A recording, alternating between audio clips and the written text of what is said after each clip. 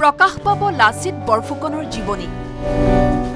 অসম প্ৰকাশন পৰিষদে গ্ৰহণ কৰিছে অভিনৱ এক প্ৰকল্প। দেশৰ সকলো মুখ্য ভাষাত প্ৰকাশ পাব লাচিতৰ জীৱনাৱলী।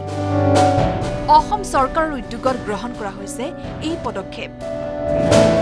আনকি গ্ৰন্থখন দেশৰ স্বীকৃতিপ্ৰাপ্ত চৌব্বিছটা ভাষালৈও অনুবাদ কৰা হৈছে।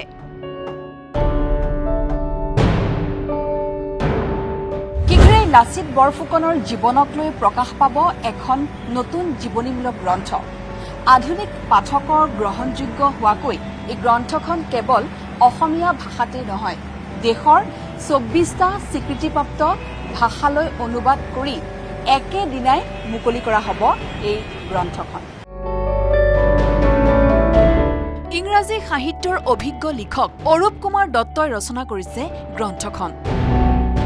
ইতিমধ্যে গ্ৰন্থখন ৰচনা কৰি প্ৰকাশন পৰিষদৰ হাতত অৰ্পণ কৰিছে বিশিষ্ট লিখকগৰাকীয়ে।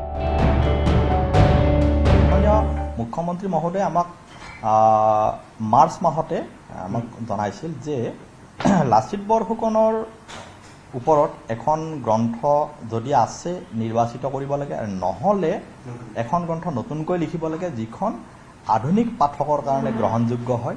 আৰু এই গ্ৰন্থখন ভাৰতৰ সকলো স্বীকৃত ভাষাতে অনুবাদ কৰি কৰিব লাগে আৰু তেখেতে এই বছৰৰ শেষৰ ফালে উন্মোচন কৰিব। ব্যক্তিগতভাৱে অৰুণ কুমাৰ দত্তৰ লগত আলোচনা কৰিছিলোঁ তেখেতক কৈছিলোঁ যে কিমান কম সময়ৰ ভিতৰত এখন আপুনি ভাল গ্ৰন্থ লিখি দিব পাৰে।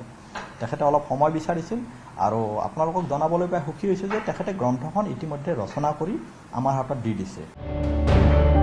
তামিল তেলেগু মালায়ালম কন্নড় মাৰাঠী ৰাজস্থানী উৰিয়া পাঞ্জাবী মৈথিলী চাংথালী সিন্ধি বড়ো মণিপুৰী নেপালী আদিকে ধৰি স্বীকৃতিপ্ৰাপ্ত চৌব্বিছটা ভাষালৈ অনুবাদৰ কাম ইতিমধ্যে সম্পূৰ্ণ হৈছে। সাহিত্য একাডেমী আৰু নেশ্যনেল বুক ট্ৰাষ্টৰ সহায়ত চলিছে অনুবাদৰ কাম। চলিত বৰ্ষৰ শেষৰ ফালে প্ৰকাশ পাব চৌব্বিছটা ভাষাৰ চৌব্বিছখন গ্ৰন্থ। শীঘ্ৰেই দিল্লীত প্ৰতিটো ভাষাৰ একোগৰাকীকৈ সম্পাদকে সম্পাদনাৰ কাম আৰম্ভ কৰিব গ্ৰন্থ কেইখনৰ